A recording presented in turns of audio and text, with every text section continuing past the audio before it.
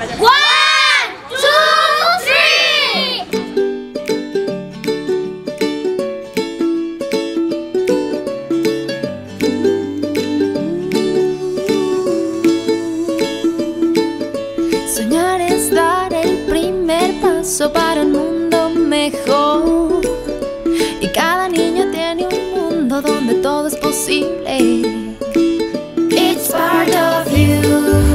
grande y hermoso primero fue un sueño.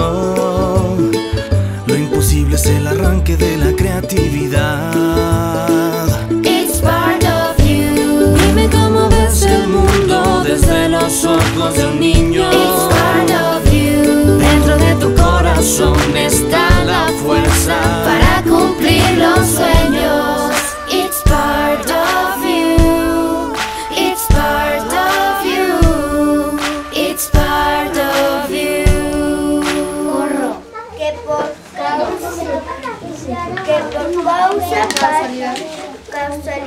Paseaba por ahí.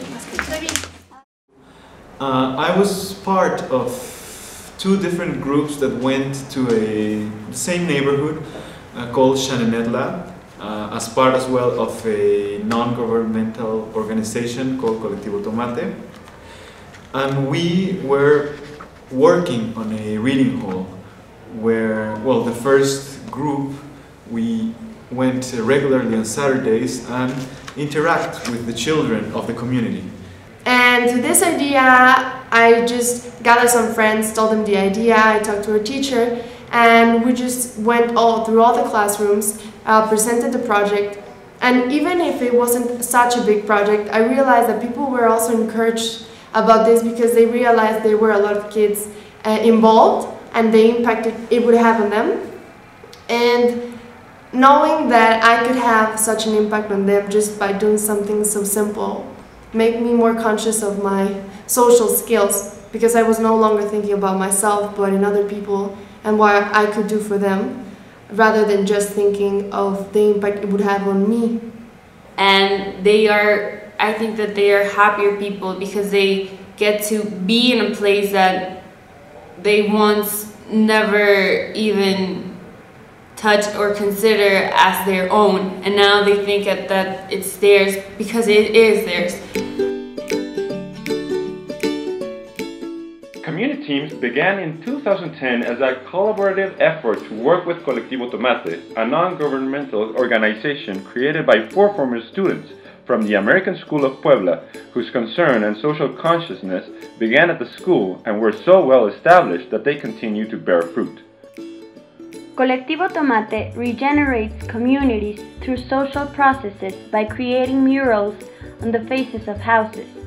The designs uncover the identity of those involved as they speak of the past, present, and future, of who we were, who we are, and who we want to be as a community. The first project, along with Colectivo Tomate, was in Xanenetla, a neighborhood in Puebla's city center, which has been declared as part of the World Heritage by UNESCO. Although Xanenetla has played an important role in the history of Puebla as one of the original barrios, it has been abandoned and currently suffers from economic hardships, which have led to a critical state of ruin that increases over time and contributes to crime. In the initial stage, the school community and former students of the American School of Puebla, along with homeowners, participated in the creation of 35 murals. The result was an urban improvement, a stronger sense of community, citizen participation, economic growth, teamwork, and the possibility of a brighter future for Xanenetla. Este es un cuento que yo escribí que se llama El mono Houston. Esta es una patineta que hicimos con un cepillo y pintura roja. A mí me gusta mucho la patineta. Estos son unos lentes que hicimos el mismo día. Este es un dibujo que se llama Detrás del muro. Y el cuento se trataba de Detrás del muro del agua. Entonces es un... Es un Es un dinosaurio en una fuente. A barrio that was once classified as dangerous became an attraction for local and foreign tourists who wanted to see the murals and become acquainted with its people's stories. Neighbors who had never met each other now gathered to talk and organize to do more for their community. Citizens in Xanenetla realized that when united, they could attack any problem, achieve anything, and build whatever they want and need. Xanenetla has a very young population. Every afternoon, most of the children from the barrio go out to play on the street while their parents work. This makes them very vulnerable to dangerous situations or even illegal activities. Quickly, the organized community realized it was very important to offer a safe space for these children to grow. This was seen as a new opportunity, and both Xanenetla and the school community arrived at the conclusion that the construction of a community library would be an excellent solution.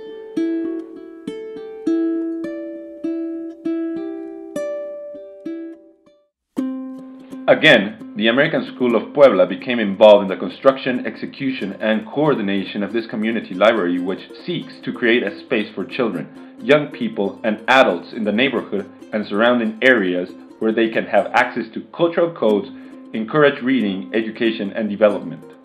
Y, em- y emprendió tremenda carrera cuando abajo gritando, voy a volar. In the beginning, the space allotted for the community library was just an underused room filled with rubbish, with no light or floor. The American school students decided to raise funds in the school with the help of teachers and parents to buy materials for the construction of an adequate space for the project. Once the construction began, the students designed the space to have the necessary tools to work with the children. Since then, every Saturday, a group of students, former students, and sometimes teachers and parents organize cultural activities with the participation of citizens of Xanenetla. Cuando, cuando se mejoró, regresó a donde la niña le preguntó una vez más. Niña bonita, niña bonita, ¿cuál es tu secreto para ser tan negrita? We want at least to help them two or three hours a week to make them happy and leave them something for their future. Just, I mean, they're the future generations of, of that, that neighborhood. And, well, it's not all, all about them. I would say that they also give something to us. Putting a smile to them, it's priceless and it also puts a smile in us. While the community library is one of the positive consequences of the muralism project, one could not happen without the other, and both improve the social cohesion of vulnerable communities through citizen participation and confront students with realities they even didn't know existed. Students, teachers, and parents are always suggesting new ideas and things that can be done in the community library and with Xanenetla. This shows a very intimate relationship that has been built between both communities, a connection between them that could last a lifetime.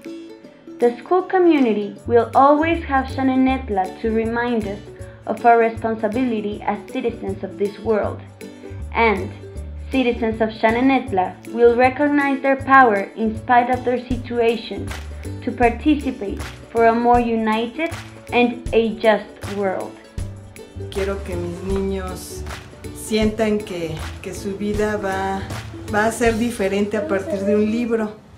Ojalá que sí, esa es mi intención y ustedes son mis cómplices porque vienen los chavos del americano, vienen con, con mucho ánimo, con mucho empeño, se les nota la, la disposición, hacemos diferentes estrategias, me gusta mucho que les lean en inglés, este, se involucran, esta área, es, esta sala da como para trabajar a oscuras, entonces hemos leído en penumbra, los chavos hacen sus equipos, integran a sus niños y ellos desde que llegan aquí al barrio van por ellos a sus casas, los traen a la sala, los acompañan en todo el proceso como si fueran sus tutores o sus mentores y bueno, al final pues sí se, se cercioran de que los niños se lleven algo, se queden con algún aprendizaje.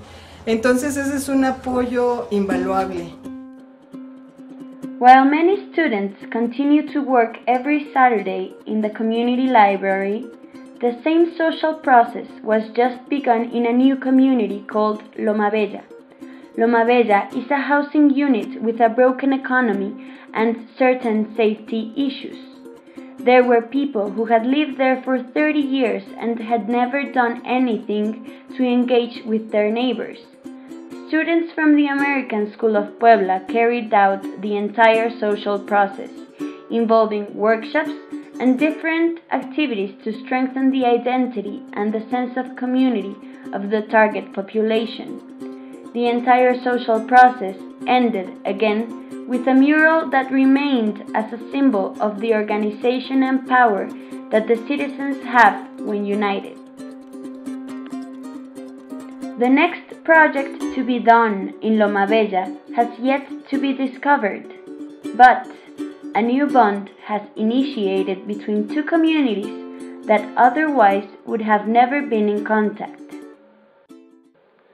Every community team involved, being the American School of Puebla, Xanenetla, or Loma Bella, can now recognize their power to transform their city, country, and world with active and united participation.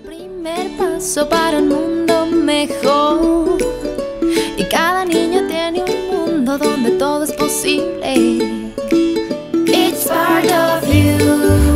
Grande y hermoso primero fue un sueño. Lo imposible es el arranque de la creatividad. It's part of you. Dime cómo ves el mundo desde los ojos de un niño. It's part of you. Dentro de tu corazón está la fuerza Para cumplir los sueños.